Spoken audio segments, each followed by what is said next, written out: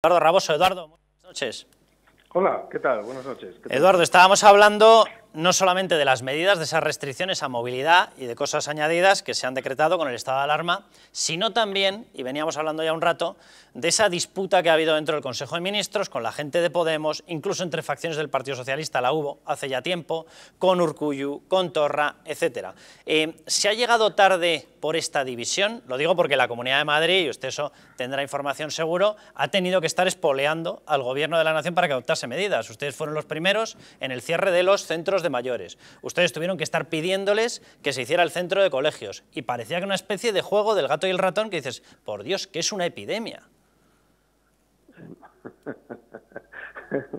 bueno, mire, em, por encima de ser portavoz de sanidad, yo soy, como probablemente saben, un profesional de la salud. Yo soy eh, jefe de servicio en un hospital público de Madrid. Yo ahora mismo tengo puesta toda mi atención en, bueno, pues en la epidemia que quizás podríamos todavía decir que estamos empezando a sufrir.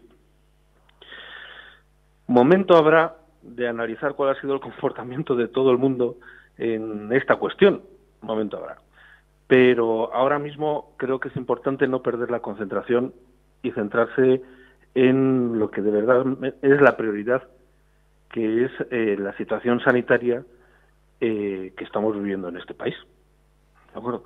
Yo de verdad que prefiero dedicar todas mis energías a esto, aunque desde luego dejo almacenado, por así decirlo, eh, muchas de las cosas que a ustedes les acabo de escucharles y que no puedo dejar de compartir, pero, pero es muy importante vivir hacia adelante porque el problema lo tenemos enfrente.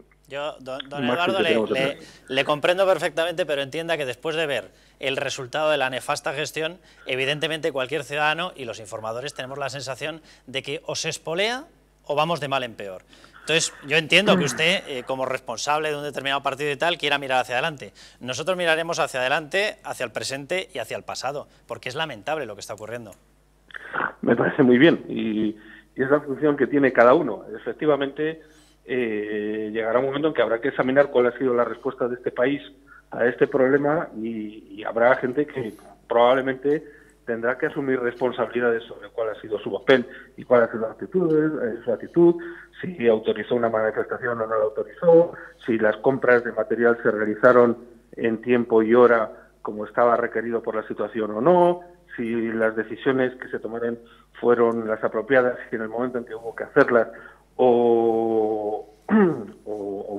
las decisiones se tomaron con excesiva demora, decía, eh, me parece que era Truman, que no, no, eh, Theodore Roosevelt, que nueve décimas partes del éxito de una decisión consiste en tomarla a tiempo. Y, bueno, pues habrá gente que probablemente tendrá que responder de sus decisiones y de, y de si los condicionantes para la toma de decisiones han sido exclusivamente el interés de la población y sanitarios o intereses políticos o de cualquier otro tipo. O han sido políticos. Eduardo, eh, eh, por mirar hacia adelante, ¿cuál es el panorama que nos espera? Eh, nos espera mm, una multiplicación extraordinaria de casos. Eso es evidente. No, mm, tenemos que asumir que ya eh, no se están realizando pruebas a los casos leves, que afortunadamente son la gran mayoría de los casos. Y prácticamente eh, se, las situaciones en las cuales se realizan los test para ver si un paciente está infectado están tasados en, sobre todo en los casos de, evolución más compleja o de, evolución peor, de evolución clínica peor. Entonces, eh, ahora mismo posiblemente las cifras de contagiados pues son probablemente ya ni orientativas. Quiero decir que... Eh, ¿Orientativas? casos, no, no, yo no creo que sean ya ni orientativas. Ah, ni orientativas, perdón. No, porque ya no se están haciendo pruebas a la gente que tiene síntomas leves. ¿eh?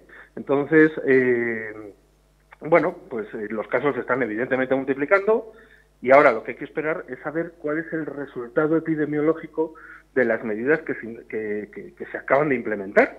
Se puede, vamos a ver si con esto conseguimos frenar el incremento incesante de casos. Eduardo, ¿se puede tranquilizar a la población? Eh, usted tiene datos seguro actualizados eh, de cómo está el servicio hospitalario, si está saturado, si no, si tenemos capacidad para asumir nuevos casos. ¿Qué le podemos decir a la población?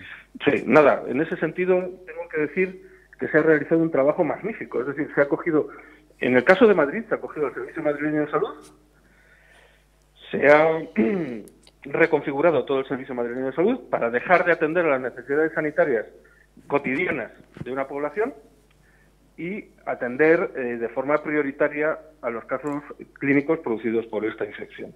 Tengo que decir que la reconfiguración ha sido magnífica, por supuesto, no se van a dejar de atender a todos aquellos casos prioritarios, casos clínicos prioritarios que no estén contaminados por el virus, pero que no existen, casos oncológicos, fracturas, en fin, todos los diversos casos clínicos que requieren atención inmediata, pero que no son infecciosos. Por supuesto que siguen siendo atendidos, pero tengo que decir que el Servicio Nacional de Salud ha desarrollado de una forma, vamos, de una forma sorprendentemente rápida, una capacidad extraordinaria para absorber los casos que están apareciendo, para gestionarlos, para triarlos, para mm, resolver eh, la situación clínica de cada caso y que en estos momentos incluso eh, estamos empezando a desarrollar capacidad de maniobra de reserva, por así decirlo. ¿eh?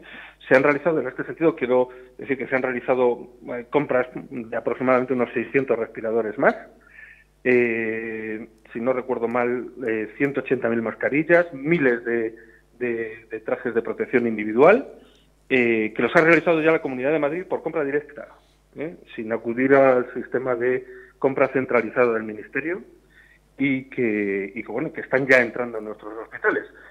Y luego, además, eh, bueno, pues afortunadamente se ha expandido extraordinariamente, y algunas de estas compras van en este sentido, eh, la capacidad de generar plazas de cuidados intensivos, porque sabemos que las vamos a necesitar, y bueno, pues yo creo que en este momento empezamos a tener una capacidad suficiente como para hacer frente a los requerimientos asistenciales que va a tener esta epidemia en los próximos días, que es cuando esperamos alcanzar, por así decirlo, el cenit eh, en el número de casos. Eduardo, una, una pregunta muy rápida. Yo no sé si usted se atrevería a hacernos un pronóstico de cuándo podremos librarnos de esto.